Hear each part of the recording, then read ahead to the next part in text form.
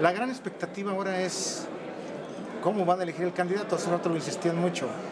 ¿No cree que haya algún problema que se vaya a complicar el asunto? Siempre tiene su grado de dificultad. Hay mujeres y hombres a que aspiran, que tienen derechos y que son gente muy conocida, reconocida.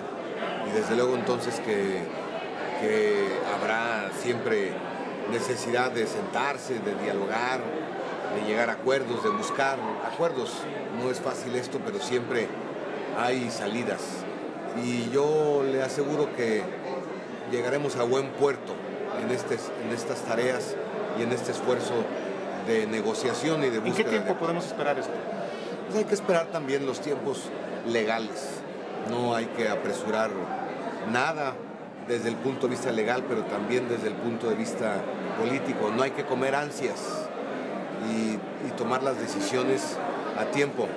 Me acuerdo de aquel poema de León Felipe que decía, mm, lo importante no es llegar solo y pronto, sino que lo importante es llegar todos y a tiempo.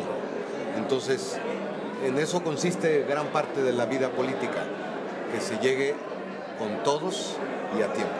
Jesús Ortega, muchas gracias por esta entrevista. No, hombre, muchas gracias y un gusto volver a saludarte. Gracias. Jesús Ortega, presidente nacional del Partido de la Revolución Democrática.